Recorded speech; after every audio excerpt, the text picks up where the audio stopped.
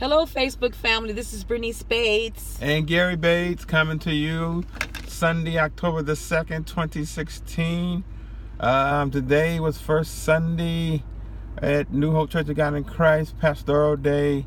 Again, our church is at 5763 Walnut. Cross Street is Mason. And next Sunday, let me just give a shout out. It's Men's Day. Come join us, men, wives, girlfriends. Bring your men to New Hope and let them learn about Christ and what they what Christ can do in their lives.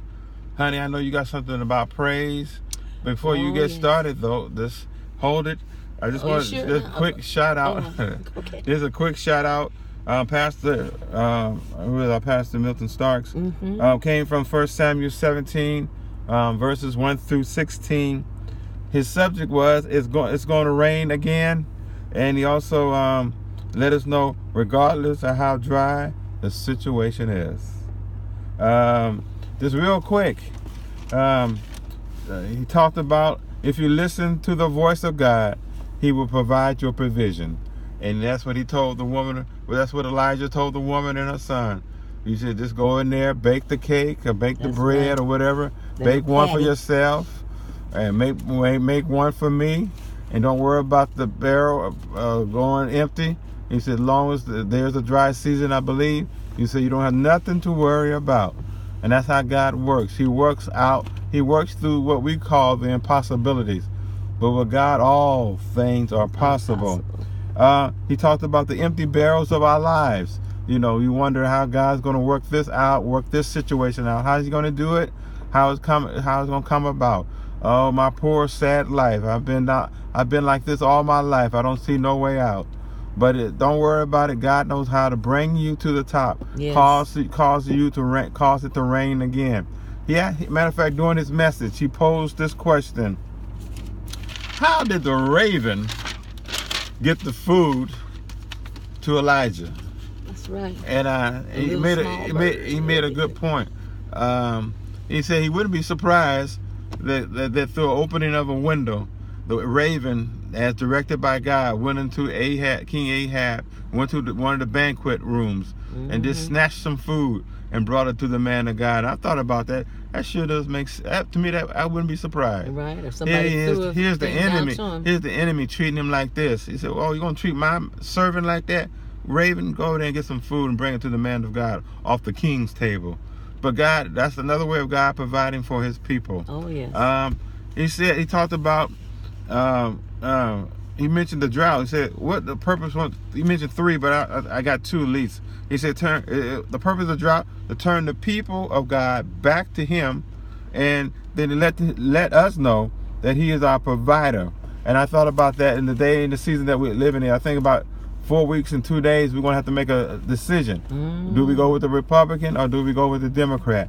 And those some say, "Oh, absolutely, we can't go with the Republican uh, nominee," and somebody said, "No, we can't go with her, the the, the, Democratic uh, nominee. Whoever we get in the White House, first of all, won't be like Obama. Uh, he he's just a man. He just makes us proud. I know we can't agree with everything he does, but he's not in. He wasn't. He didn't win the White House to be our savior. Christ is our savior. But nevertheless, whoever gets in there, we're gonna still have. We're gonna still still have to depend on Christ Jesus. I know you want to talk on praise, and uh, and and, and I, I just wanted to finish up what I started started last Saturday, Sunday rather. Yeah, all right? Yeah. Okay. Um, but um, I'll catch up with you. Maybe I interrupt you a little Oh, bit yes, as, as as thoughts come to me. But uh, go ahead. I was thinking about praise uh, and how uh, David, the Lord revealed to me. I was reading Psalms 23. That's a familiar passage of scripture. But David himself talked from a place where he had knowledge about, where he had experience in, and that being nothing but a shepherd. And he began to say, The Lord is my shepherd. He understood what that really meant. Him being a shepherd over his flock, he could speak from that place of knowledge and that place of understanding and how he began to speak about God leading us. And I, I thought about a, a shepherd he knows where to lead his flock. He leads them where to get water. He leads them to get the green pasture. He say he leads them into a green pasture. He leads them away from danger. He watches over them so the enemy uh, won't slip in the camp and take one of them captive. He also knows how to administer them if something happens to one. He knows how to, uh, you know, uh, treat their injuries. And I begin to think about us as saints of God we have to get to the point point where we want to praise and give God thanks from a place of knowledge that we know and what we can pull upon and, and draw upon.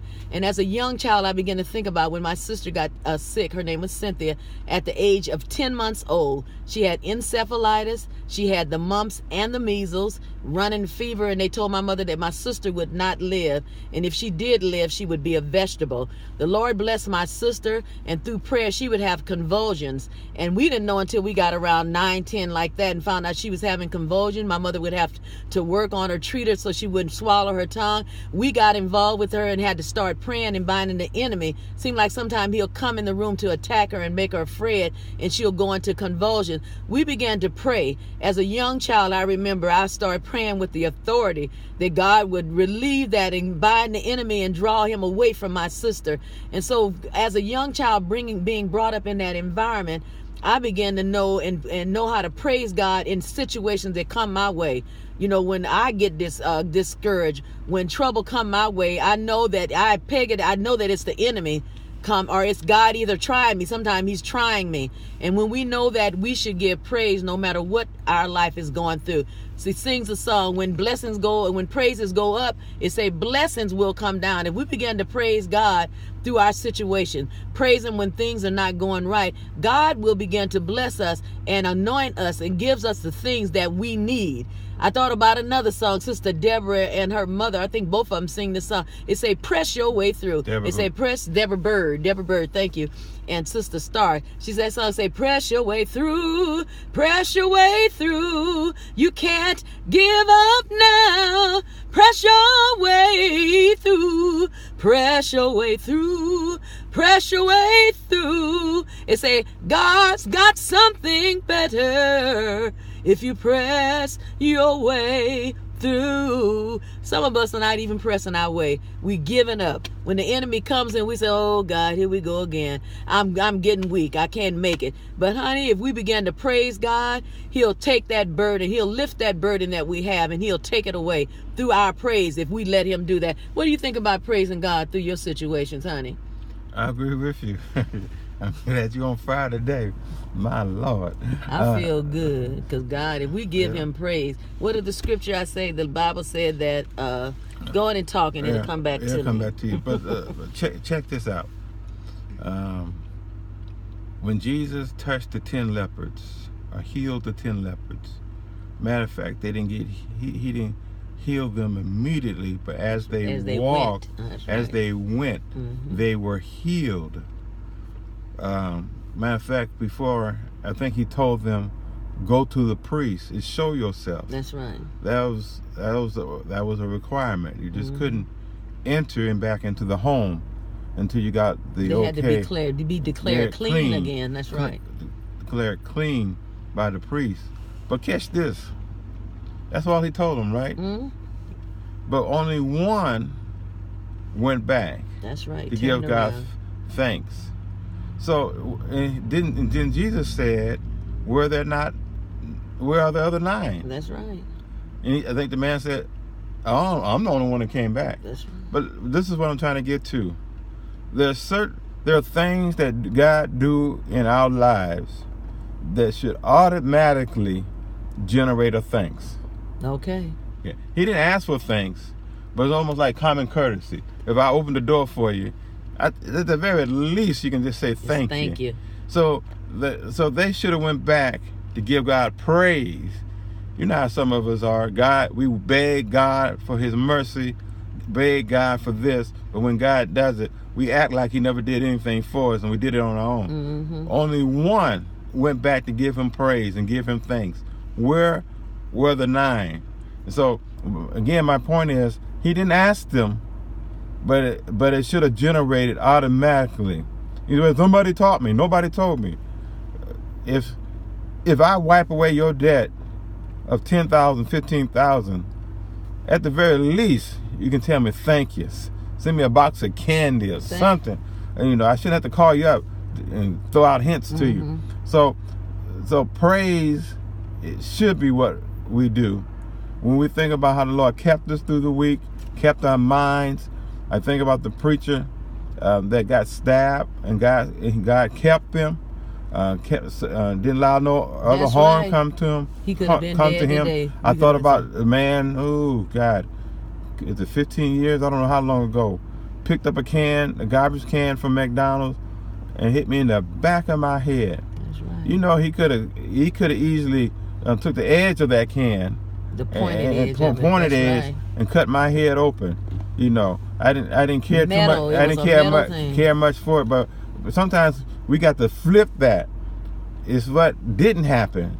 Sometimes we complain what did happen instead of being thankful for what didn't happen Thank you. and and that's why and then then you talked about pressing i thought about the analogy of football and this is for my football fans they know what i'm talking about you know you have offense and defense well the defense is not on the field for, and it, just to allow the offense to score touchdowns mm-hmm. if they if they're just going to allow them to score touchdowns they need to sit, be on the sidelines but what they do they they employ deploy different types of defenses to keep the offense From from, scoring. scoring. That's right. And that's the same way that the devil does. He's just not gonna allow you to praise him, magnify and glorify him, glorify the Lord.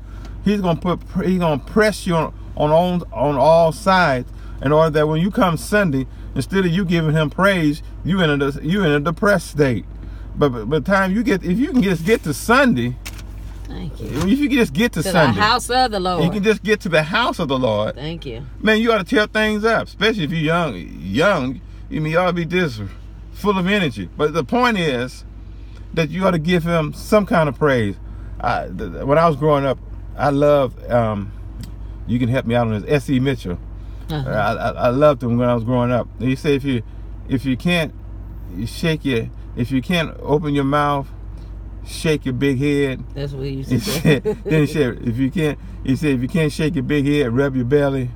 And if you, if you can't do that, just say glory, or holler something out. In other words, he was trying to say, say something.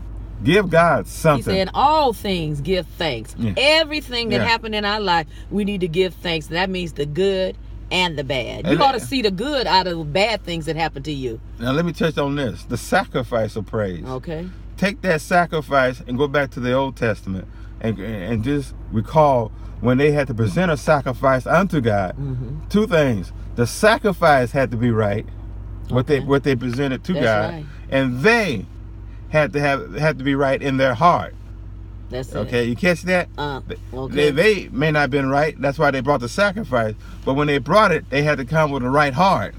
So two things: when we come with a sacrifice, a praise, an effort, but also what we bring, we can't be laying up with Sally all night long Sunday, Saturday, Thank and you. try to give a praise on Sunday. Thank you. We can't be drinking at the bars when Sweet Jimmy's around and drink at Sweet Jimmy's and dance and, and drop it like it's hot and try to drop it for the Lord on Sunday like it's hot. It don't. It don't. It's not That's compatible. right. It doesn't work that way. So we, when we give Him the sacrifices of praise, it got to be from the right heart, and we got to press into the sacrifice. Sometimes you may not even feel like it. That's it. You know, you're got tired, you're worn out, the devil beat you up. But I'm, so I'm gonna give him some type of praise. What came to my mind when you was talking about that? I thought about uh, the uh, um, Adam and Eve's sons. uh, Cain slew Abel. When you think about, it, they both gave the same sacrifice, hmm but the Bible talks about that Cain. Uh, how much Mm-hmm. time we have? Gave uh, he gave a more excellent sacrifice than his brother did, Mm-hmm. and I began to think about it, Gary just saying that it has to be what your motive is. You're not giving giving praise to be seen, or you giving praise that you know get one up somebody else. Somebody gave a praise report, and you got the one up and getting one up on top. Of mine is a little bit better. Atop that, it's not. You have to have the right motive when you come before God with praise to Him, because He knows the desire and the intents of every man's heart. He knows it already. We look. My Bible say, man looks on the outward appearance, but God is the one that'll look down on the inside and see who you really are and what your motives are. Let me just say this: uh, we're almost hitting 15 minutes. Okay. Let me just say this: I know uh, uh, on this earth, in this world, my gift is not singing. But this is what I do believe. When I do sing, when I open up my mouth, open up my mouth to sing, it won't get me no contracts. It won't get me no invitations. it won't do that. But this, but this is what I do believe. By the time it reaches heaven, when it's coming from the heart, it sounds just as good as your voice. Okay. Your voice sounds good on earth Yeah. and heaven. My voice may not sound good on earth, but by the time it reaches heaven, it sounds just as good as anybody else's voice. if we say got a song the angels can't sing, yeah. because that's your song. You've been not, not my song, but my point is, Mhm. it's coming from the heart. There you go. Because the Bible said, make a joyful, all of us to make a joyful noise. right. You know, Out I of just, I just want to drop that on the singers. I know. You know. The Bible says, out of the heart flows the issues of life. Uh-huh. Whatever you have in you is going to come through your heart. If you're not uh, emoting the right type of uh, uh, spirit with your praise, with your even with your gifts. I done seen people have a good gift. They can flat foot sing. I'll never be able to sing like they sing. But if they don't have the anointing of God and resonance in their life, it's just like sound and brass and tinkling cymbal. And mm-hmm. what people will go over, oh yeah, she had a good voice. She can really sing. She can. But did the Lord move you spiritually? Did it touch your heart? But also, some people in the world can Oh, they got voices. can rock it with their voice, That's right. but it doesn't mean nothing. It don't speak to your spiritual. Yeah, remember in the Old Testament when they brought a sacrifice unto God, and their heart was wi- right, and they brought the right sacrifice. Remember now they couldn't bring any kind of animal. That's right. You know, we, we want bring we can't bring God any kind of sacrifice. Uh, praise, roadkill. You can't bring him roadkill. Bring him any kind of praise and think he's going to be satisfied with that. But I kind of just lost my thought just like that. You got What's something that? else to say? No, You it's getting late. say But- something. Okay, how he back. had a thought, but I, I was thinking about just be careful when we praise God. We do it out of Oh, a hey. sincere heart. Okay. That's the thing. If you do it out of sincere heart, it will move God. He will stand up in heaven, look down to earth, and whatever you need, He'll uh, make that situation right for you. Here you go. When when everything is is right, the heart is right, and the sacrifice that you present is right. What did the Bible say? It's a sweet smelling Savior That goes up before the Lord. in His nostrils. That's right. That's true. Just think about that. Our praise. When we when we bring present a praise, I may be impressed by your voice and what you're singing, but if you haven't lived nothing all week, it stinks in the the nostrils of God. nostrils of God. You know. That's a good point. Yeah. So Thank let's just just get closer to God. You know, my whole thing is we're living in the last days. It's gonna come a time where our prayer is gonna mean something. It's gonna mean quick action from God. That split the moment, because of our circumstances, we're gonna need God to move instantaneously for us, and He will do it for us if we're in the in the realm of His Spirit where we All right. should be. You pray today, babe. Okay, I'll pray again. I'll pray next week. Okay. Lord, we thank you for your loving kindness. Lord, Again, we thank you for your tender mercy and your keeping power that's kept us up to this point in time and hour. Oh God, look on the Oh, saints of God. God and the people of God Touch everywhere. right now in the name of oh, Jesus. Oh, those all those that are going into Lord. surgery, Lord. Yes, Lord. For whatever ails them, their Thank throats, Jesus. their mouths, Yes, their bodies, their Yes, feet, Lord. whatever it might be, niece, oh might be. Oh God, Thank touch you, their Jesus. bodies, touch the In doctors. the name of oh Jesus. oh God, bring their bodies in alignment to Yes, thy word. God. Thank you, I believe it's somewhere in Peter said, by, thy, you, by your stripes we, We were healed. We're healed. Oh God, Thank we thank Jesus. you for what you're going to do for us this week. Oh God, we bind the enemy that comes against us. We thank God for the victory Yes, that we will walk in this week. Thank you. And look on the people, God, and the leadership of, of God's people everywhere. This we pray in Jesus' name. And one last Amen. thing, inbox me. If somebody need prayer, ask God, have a prayer request before the Lord. I'm being led by the Lord to do this. The Bible says we're two or three, and it may be you one just with you and just that one person. But if you inbox me your prayer request, me and my husband will pray over that request, and I believe the Lord will work it out for you. In about one minute, just saying for one minute, less than one minute, um, pray. Uh, what's the one? What's the one I, you sang before? Pressure waiting. Yeah, go No. ahead. Yeah, go ahead. Let's do the when praises go up. Yeah. It say, I've learned how to live holy, and I've learned how to live right. I've learned how to suffer, and if I suffer, I'll gain eternal life when I see Jesus it will be amen. When I see the one who suffered and died on Calvary, amen. All of my trials, all my troubles, they will be over when I see Jesus. Mm-hmm. It's gonna be a, amen. Oh, thank you, Take care. Jesus. Hallelujah. Thank you, Lord.